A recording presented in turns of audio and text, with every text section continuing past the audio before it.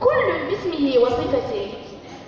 تلامذتنا الأعزاء بكل لغات العالم نرحب بكم جميعا في حفل التميز الذي تنظمه المديرية الإقليمية لمكناس تحت شعار مدرسة المواطنة.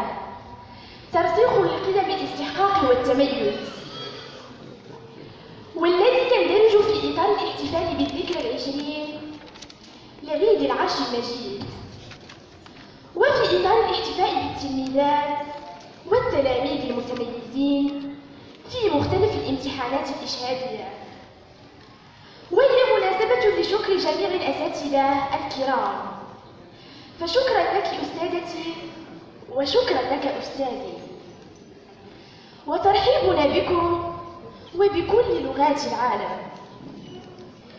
يقدمه نخبة من تلامذتنا تميزوا في مختلف المسابقات اللغوية والثقافية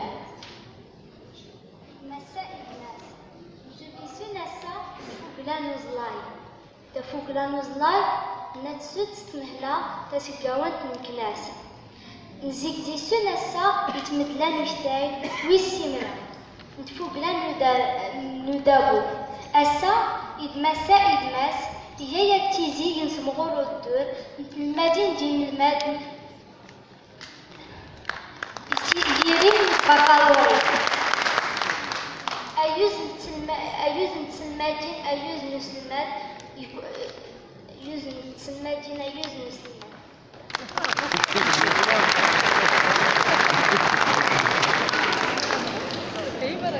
Mesdames et messieurs, nous sommes très heureux de vous accueillir parmi nous à la fête de l'excellence qu'organise la direction de la province de Meknes chaque année à l'occasion de la fête du trône, mais également en l'honneur des élèves ayant brillamment réussi aux différents examens du baccalauréat.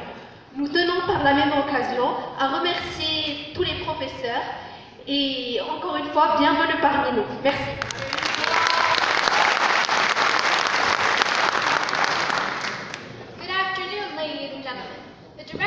The Ministry of National Education of MCNES, seizing the occasion of the glorious Throne Day, boasts the honor and privilege of organizing the present event to celebrate and pay tribute to the achievement of the most distinguished students. Thank you, teachers, for all your efforts, and welcome, ladies and gentlemen.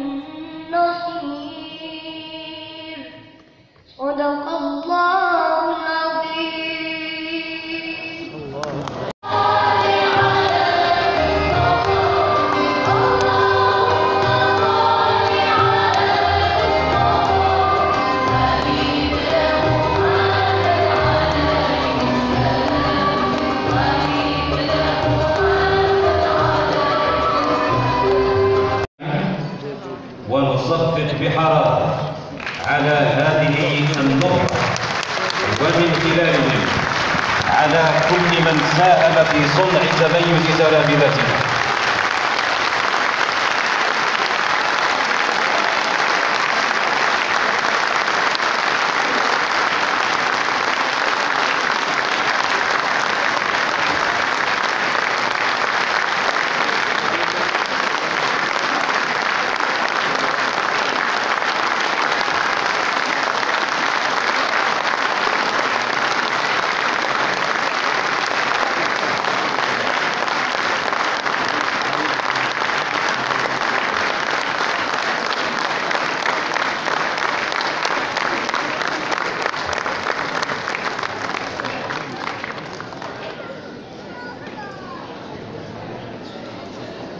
أيها الحضور الكريم أدعو السيد المدير الإقليمي لوزارة التربية والتربية والصلاة والسلام على أشرف المرسلين.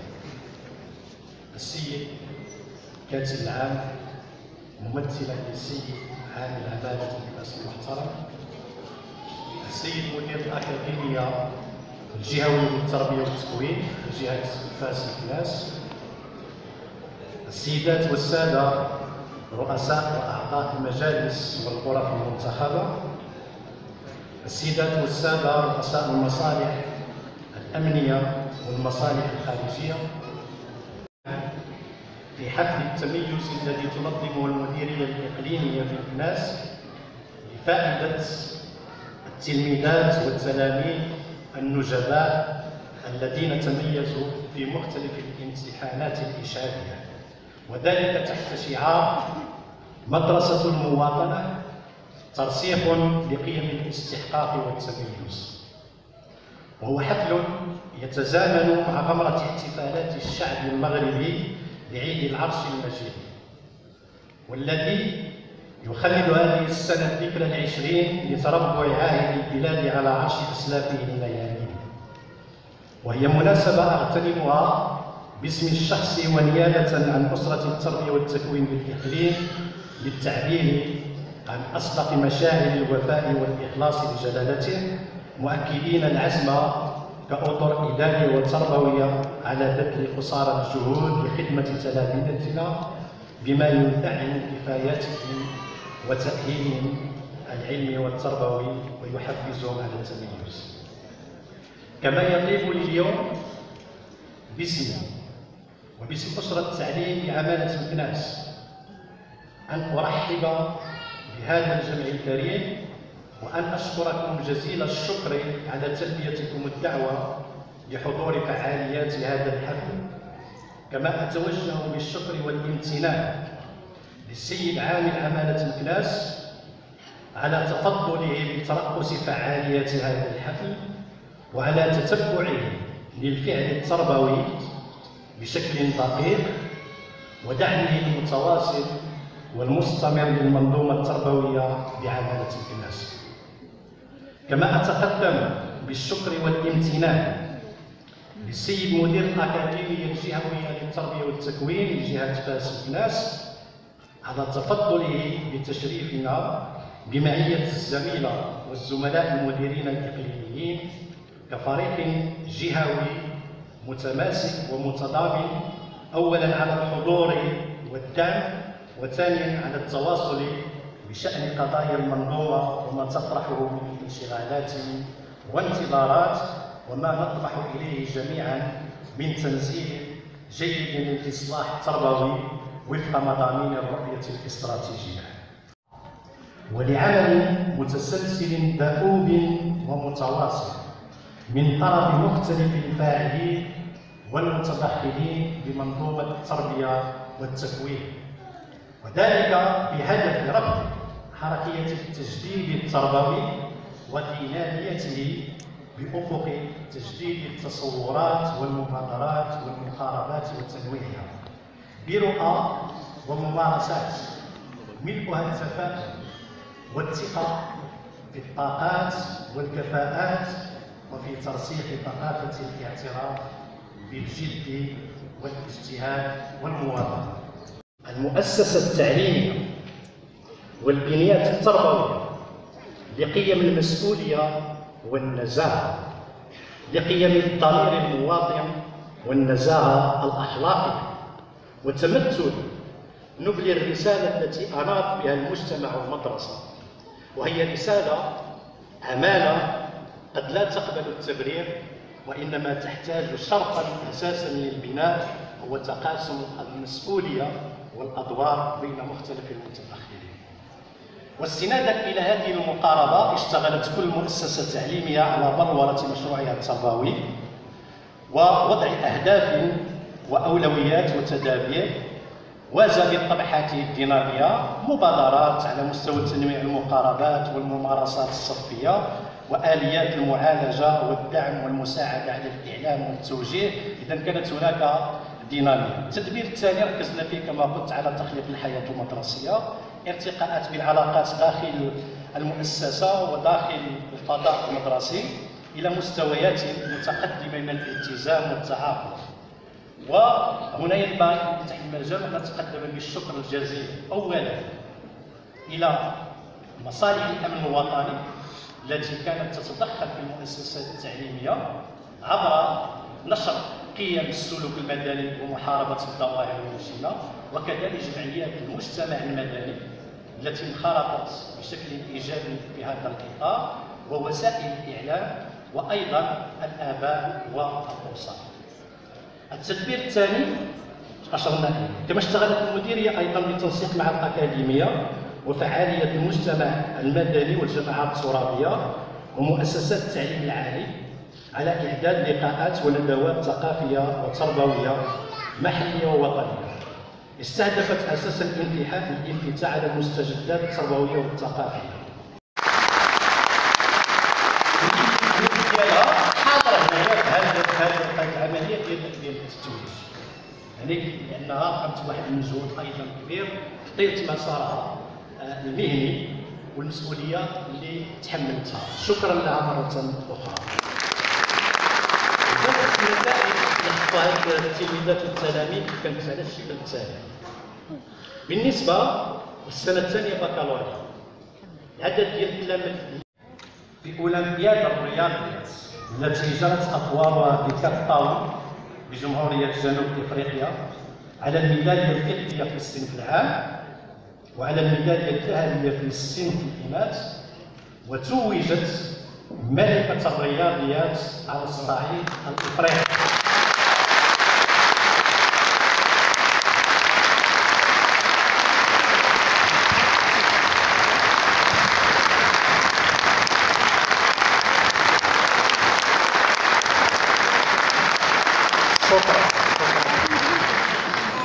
وهي غير حاضرة معنا لأنها تمثل المغرب في الأولمبياد الدولية في المملكة المتحدة.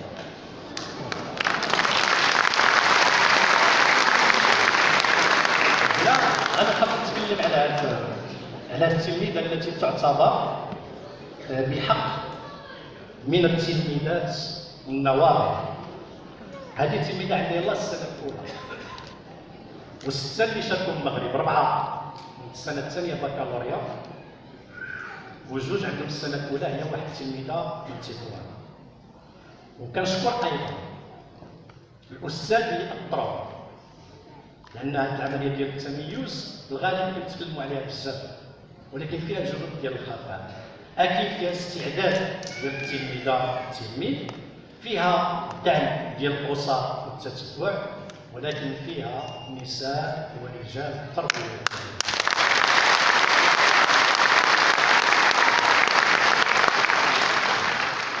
هاد التلميذه كان كيقراها أستاذ كيتكلم عليها كيقول لي نابغه بالخصوص في الهندسة.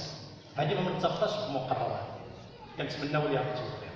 وفي هذا الإطار أيضا عندنا في المغرب حاليا اللي غيتاهلوا المباراة الوطنية ديال الأولى ديال السنة المقبلة وهي كتمر على ثلاثة ديال السنوات 40 تلميذ في المغرب. 12 من مكناس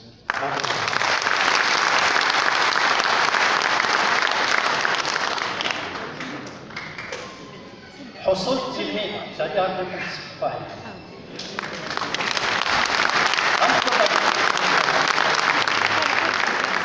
لينا بالمغرب في امتحانات البكالوريا على أعلى معدل على صعيد جهة فاس مكناس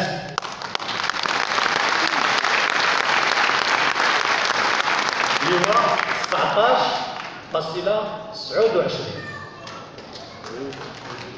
واحتلت المرتبة السابعة بهذا المعدل على المستوى الوطني.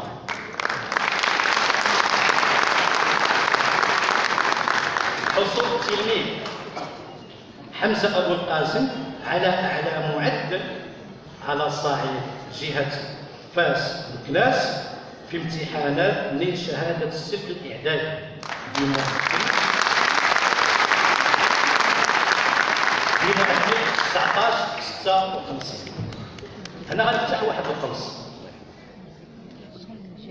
عند الرأي العام وفي ديال التمثلات السلبية كيقول لك هذه المعدلات ولا فيها بالفعل بزاف ملي كنا كنقراو حنا كان الأول فينا كيجيب 12 أو 13 هذا الشيء صحيح.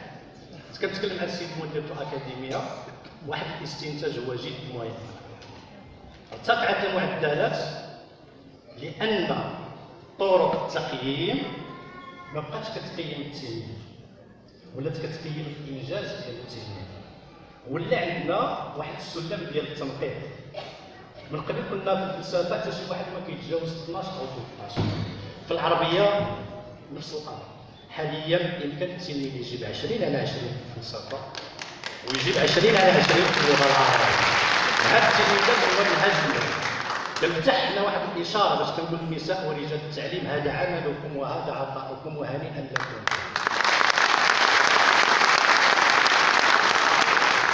كتكون المديريات كتقوم بالدعم التربوي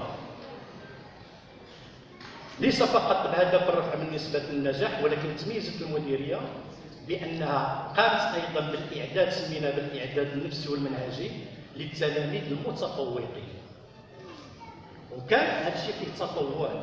أنا كنشكر الأساتذة من هذا المنبر اللي انخرطوا بشكل إيجابي. وبشكل تطوعي وخداو من الوقت ديالهم يعني تقريبا كان الحصه جوج حتى اربعه ديال الساعات في كل أسبوع.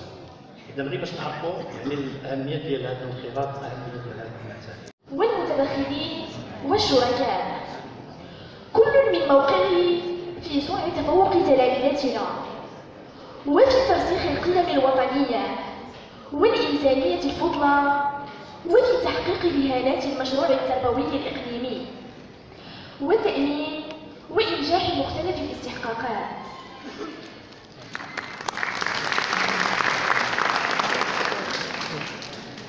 حضورنا الكرام مما يزيد احتفالنا بالتميز بهاء وإشراقا هو تزامنه مع الأجواء الوطنية المشرقة التي تعيشها بلادنا استعدادا لتخليد ذكرى عيد العرش المجيد. وفي هذا الإطار نقترح عليكم حضرات السيدات والسادة فقرة فنية متنوعة تقدمها المجموعة الصوتية الإقليمية ونستهلها بأغنية وطنية وهي إهداء من أسرة التربية والتكوين وتلاميذ الإقليم لعاهل البلاد بمناسبة الذكرى العشرين لعيد العرش المجيد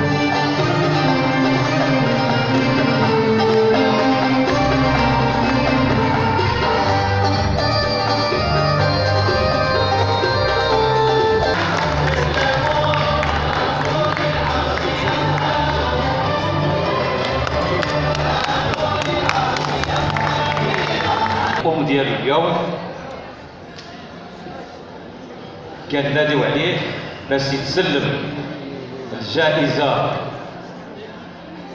ديالو الشهادة التقديرية من طرف السيد الكاتب العام والسيد المدير الاقليمي والسيد ممثل جهة فاس الكناس والتلميذ حمزة الامامي حاصل على أعلى معدل في الامتحان الوطني على صعيد الاقليم 19.03 مسلك العلوم الفيزيائية.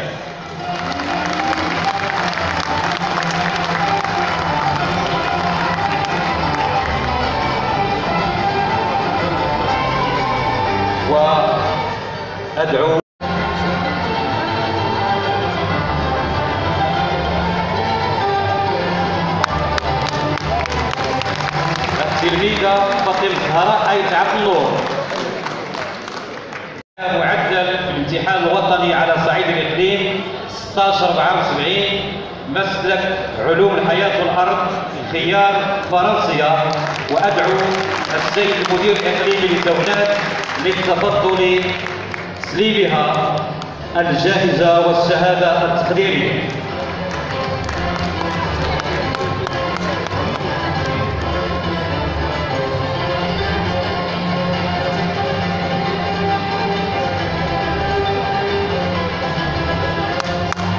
التلميذة رباب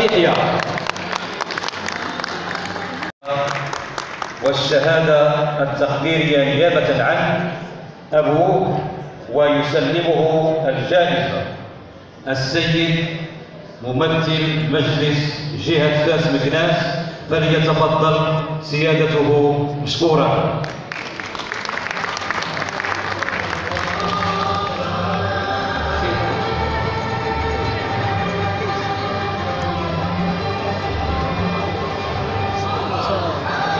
تسليمها الجائزة والشهادة التقديرية.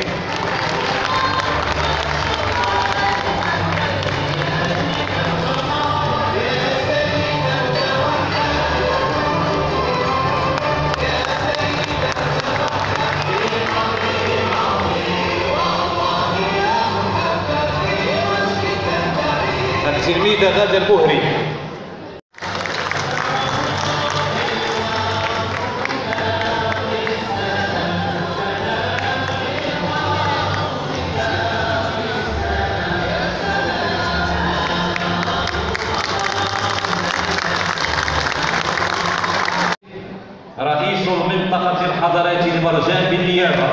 فليتفضل سيادته مشكورا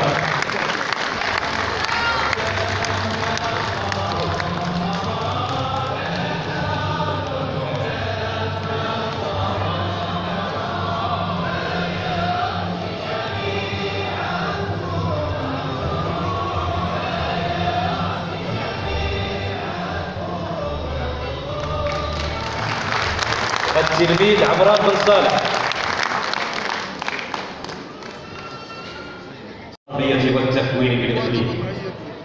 مبادرة تحمل أكثر من دلالة وتبرز مدى التقدير الذي نكنه جميعا لهذه الشخصية الوازنة واعتزازنا بمرحلة من مراحل العطاء المهني ساهمت خلالها هذه الشخصية في رفع التحديات لكسب الرهانات التربوية. ومهما أشدنا بهذه الشخصية ومهما نقوله في حقها كإطار نذر حياته ورهن طاقاته لخدمة قطاع التربية والتكوين بالإقليم وتحمل أعباء مهنته في كبرياء ومسؤولية ونكران الذات. فلن نوفيه قدره لا أخفيكم سرا حضورنا الكرام فالأمر يتعلق بالسيدة المديرة الإقليمية لوزارة التربية الوطنية بمكناس سابقا. السيدة سمية بن عبو والتي أدعو سيادتها للتفضل فوق خشبة المسرح وأدعو السادة الكاتب العام لعمالة الكنان والسيد مدير الأكاديمية الجهوية للتربية والتكوين. والسيد المدير الإقليمي للتفضل بتسليمها درع التميز والقطر وأدعو الجميع للوقوف والتصفيق بحرارة على المحتفى بها تقديرا واحتراما بالخدمات الجليلة التي أسلتها لقطاع التربية والتكوين خلال فترة تحملها لمسؤولية تدبير القطاع بالإقليم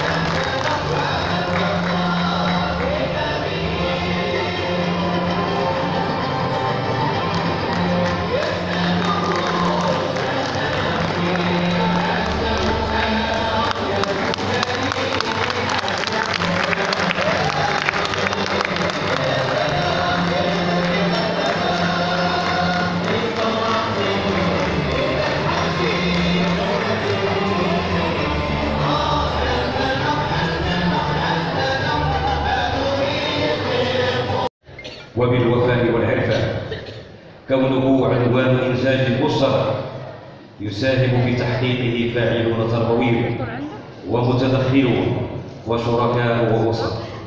وفي أمسية التميز والوفاء أبت المديرية الإقليمية لمكناس في شخص السيد المدير الإقليمي إلا أن تحتفي أيضا بشخصيات تواكب الفعل التربوي على مستوى الإقليم وتدعمه باستمرار. والأمر يتعلق حضرات السيدات والسادة بالسيد عامل عمالة الكنائس والسيد مدير الأكاديمية الجهوية للتربية والتكوين. فأدعو السيد الكاتب العام لعمالة الكنائس المحترم للتفضل بتسلم نيابة عن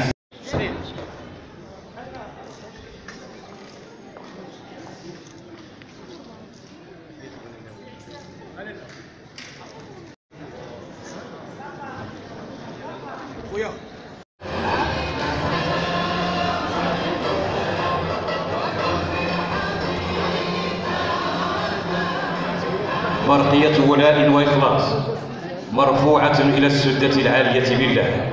جلالة الملك محمد السادس.